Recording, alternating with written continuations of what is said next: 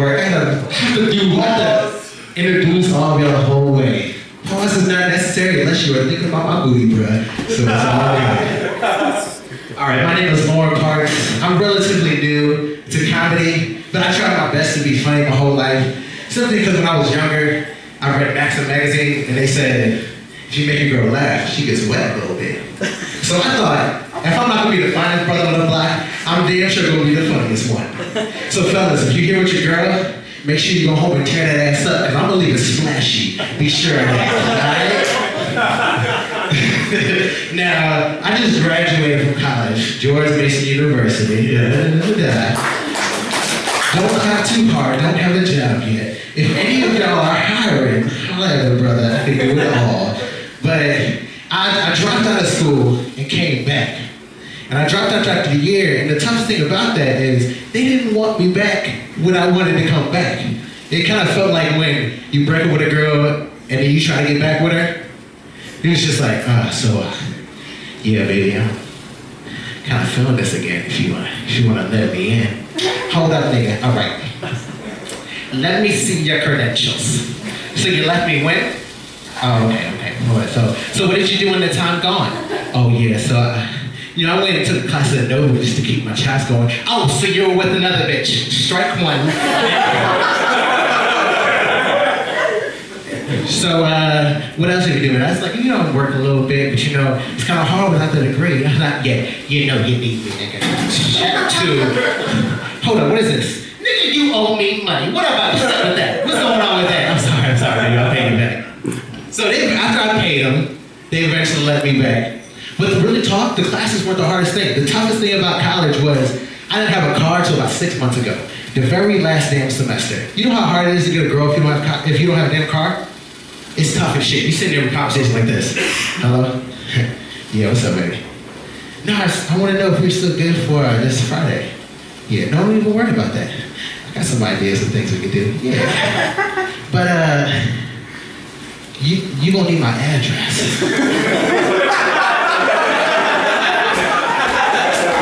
no, no, I don't cry. Oh, oh yeah, you just remember it? Oh, that's cool, that's cool. I get it. Girls' night, no, that's cool. All right, um, but uh, what about Saturday? Oh, Saturday's girls' night too? Well, damn, how many girlfriends you got? And doesn't live on the key bus route? Come on, green too. Hello? Oh, damn.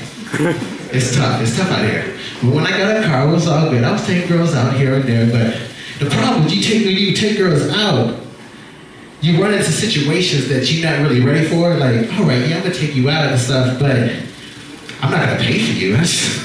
I don't even know why you expected that. Your person's right there. Why are you not reaching for it? you want me to reach for it? I got you, baby. Pass the salt, pass the purse. Same thing, you know? But you know, but when you pay for them, you do a little couple of nice things, you come back to the house, you think you ready to go. Oh yeah, baby, I spent some money on you. Let's go.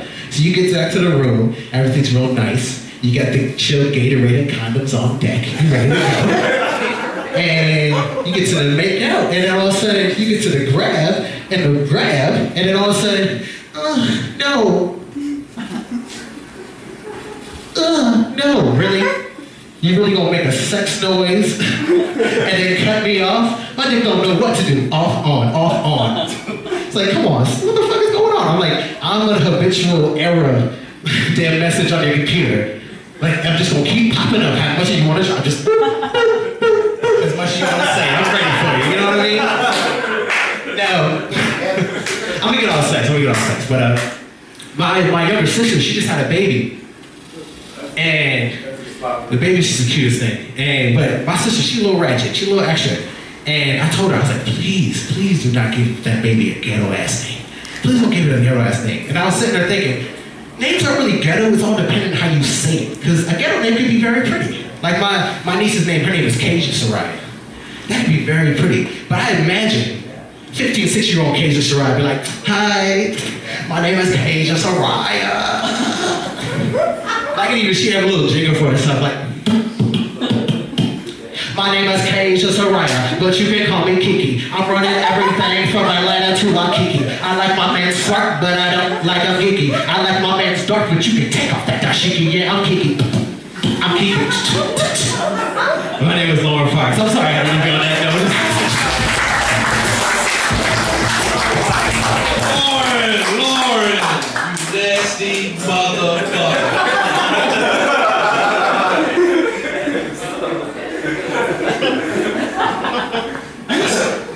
You was a- you